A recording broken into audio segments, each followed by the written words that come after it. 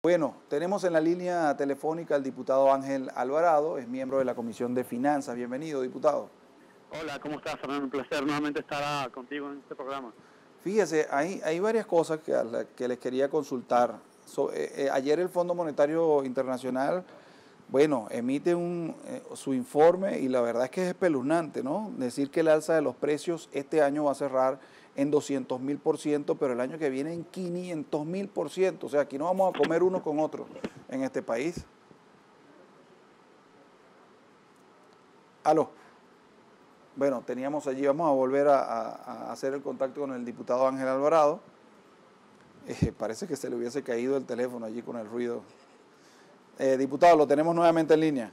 Sí, bueno, mira, las estimaciones del fondo son bastante similares a las cifras que nosotros levantamos de la Comisión de Finanzas y eh, también lo que estamos viendo que está pasando en nuestra economía.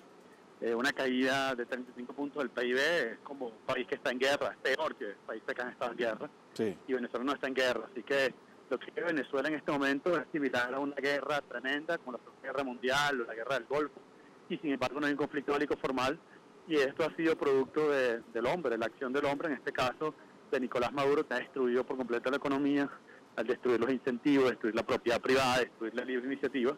Y en este momento estamos recogiendo pues esta destrucción sistemática de los derechos económicos que ahora pues son además derechos políticos y derechos sociales conculcados por los venezolanos. Fíjese que ellos hablan de una contracción para este año del 35%, pero el año que viene la contracción será de 10%. Yo me pregunto, ese 10% que está por debajo del, de cómo cerrará este año es porque el año que viene la economía va a estar completamente paralizada. Sí, exactamente. Ya acá las reducciones no tienes de dónde recortar, ¿no? Este, es como una persona que mide, no sé, que mide 10 centímetros y, le dice, bueno, ahora vas a medir la mitad, y la mitad y la mitad hasta que ya no tienes de dónde más reducir. Eso es lo que pasó con la economía venezolana, que se ha reducido 66% aproximadamente desde que Nicolás Maduro llegó al poder.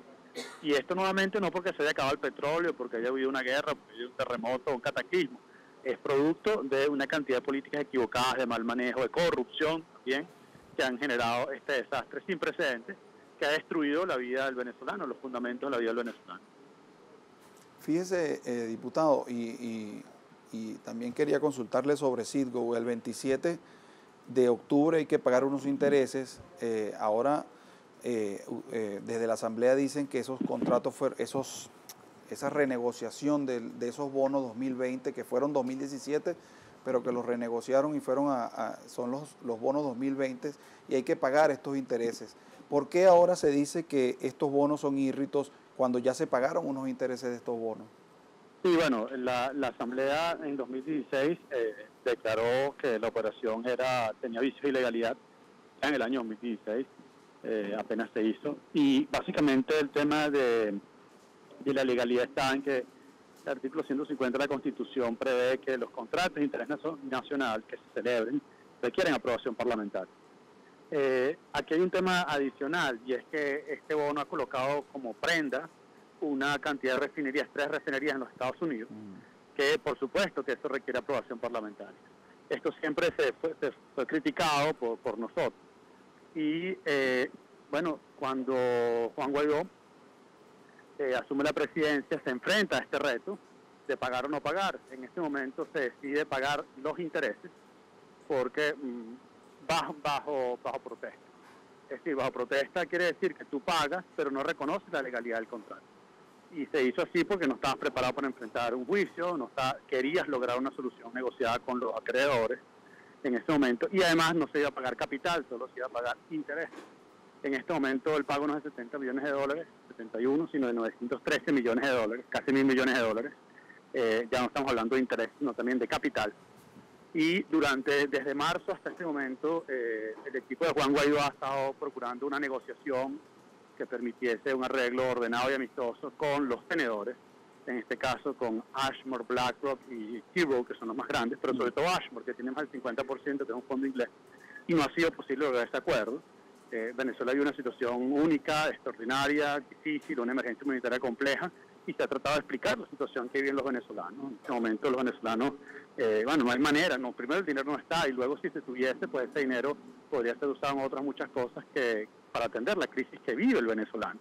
Y bueno, estas razones no se han entendido todavía queda tiempo, queda espacio eh, de, maniobra y de negociación, a pesar de que esto ya se, acerca la fecha, pero bueno, una vez que no se ha logrado esto, bueno, la, opción que le queda a, a, Juan Guaidó como gobierno interino y ejercicio de su facultad, de su soberanía, pues ir a un juicio para tratar de llegar, bueno, de lograr una solución al tema tan complicado que es este bono 2020, en la cual, pues, pues recordemos, Maduro, quien empeñó este activo tan importante de los venezolanos como sitio. Claro, eh, la otra opción sería que Donald Trump firme una orden, ¿no? Para que no ejecuten eso. Sí, pero bueno, eso no depende de nosotros, sino de Donald Trump. Claro. Y, y, pareciera que hay restricciones legales, es decir, hay, hay opiniones legales que van y vienen y, y, bueno, eso no es una garantía, con lo cual nosotros como nosotros tenemos que defendernos si llega esa orden ejecutiva que levante la, la, la, licencia quinta que permite a los acreedores a tomar el activo, bueno, eso sería proteger completamente el activo pero bueno, eh, de eso se, ha venido trabajando mucho, se ha hecho pues las gestiones, digamos, necesarias, pero de eso no hay ninguna garantía.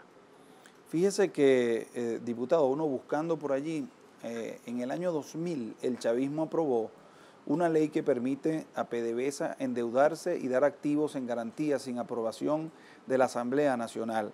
Pero esto es contrario a la Constitución. Sin embargo, fíjese que ellos trataron de revestir de legalidad este tipo de acciones y ahora estamos viendo las consecuencias. Exactamente. Eh, y, en ese artículo inconstitucional, pero bueno, ya sabemos que el Tribunal Supremo no, no mira la constitucionalidad o no de, de esos artículos, interpreta de manera muy, muy extraña la Constitución. Eh, en ese artículo decía, bueno, suponiendo que ese artículo es constitucional, que no lo es, pero por su supuesto negado, se decía que no requiere aprobación parlamentaria, pero tienen que presentarse los balances de la empresa para ver si es posible este endeudamiento. Entonces, en el año 2016, cuando se hizo el endeudamiento del bono PDVSA 2020, eh, no se presentaron los, balances de PDVSA, mm. eh, no, se, no era viable para PDVSA asumir esta deuda, con lo cual incluso bajo esa argumentación legal también tiene vicio de ilegalidad la emisión del bono. Así es. Diputado, en cuanto al oro, siempre le preguntamos por eso, porque usted siempre está detrás de, de esa información. ¿Ha seguido sacando el oro de Venezuela? Bueno, hay oro, sí, el oro del arco minero, de las minas, eso es un completo desorden y ahora lo va a sacar también los gobernadores. Así que aquí hay una obsesión del oro, el mito del dorado, la riqueza fácil, de la destrucción del ambiente se mantiene. Con Nicolás Maduro sabemos que eso no va a resolver ningún problema. Ya la obsesión del oro empezó con los lingoticos que nadie sabe dónde están. Y del Banco Central pues no hemos tenido nuevas noticias de salida de oro. Pero bueno, en cualquier caso, pues esta obsesión del oro, de riqueza fácil, de, mentalidad de mina que hay que sacar y extraer rápidamente, es lo que ha traído esta pobreza aquí en Venezuela, que hace falta es trabajo, inversión, innovación, educación, insertarnos en la economía global para generar riqueza y no seguir pensando que esas actividades extractivas, primarias, mineras, son las que van a sacar a Venezuela la pobreza. Eso no va a ser así, esa es la economía de pobre negro, de la explotación, pobre negro que hablaba Rómulo Gallego, de la explotación definitiva de las desigualdades y de la riqueza de unos pocos.